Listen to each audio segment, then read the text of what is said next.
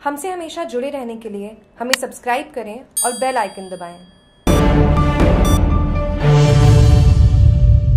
देश में कोरोना मरीजों की संख्या उनचास हज़ार तीन सौ इक्यानवे पहुँची। अब तक एक हज़ार छह सौ चौरानवे लोगों की मौत। भारत में कोरोना वायरस के मरीजों की संख्या पिछले कुछ दिनों में तेज़ी से बढ़ी है। स्वास्थ्य मंत्रालय द्वारा बुधवार सुबह जारी किए गए ताज़ा आंकड़ों के अनुसार, अभी तक देश में कोरोना मरीजों की संख्या पचास हज़ार के पास पहुँच गई है। अब तक उनचास हज़ार तीन सौ इक्यानवे कोरोना पॉजिटिव सामने आ चुके हैं। वही मरने वालों की संख्या एक हज़ार छह सौ चौरानवे है। इसके अलावा दुनिया भर में भी मौतों का आंकड़ा ढाई लाख के पार पहुँच गया है। इससे पहले केंद्र स्वास्थ्य मंत्रालय के मुताबिक सोमवार से मंगलवार शाम तक रिकॉर्ड एक लोगों की कोरोना से मौत हो गई जबकि 3,875 लोग संक्रमित हुए थे। दिल्ली में कोरोना संक्रमितों की संख्या 5,000 से ज़्यादा पहुँच गई है। पिछले 24 घंटे में 206 नए मामले सामने आए हैं जबकि सैतीस लोग ठीक होकर घर चले गए। इसके अलावा महाराष्ट्र गुजरात तमिलनाडु और पश्चिम बंगाल में नए केस सामने आने की रफ्तार काफ़ी तेज है। पिछले दिन की तुलना की जाए तो तमिलनाडु और पंजाब में संक्रमण की रफ्तार राष्ट्रीय औसत से भी ज़्यादा है। तमिलनाडु में संक्रमण दर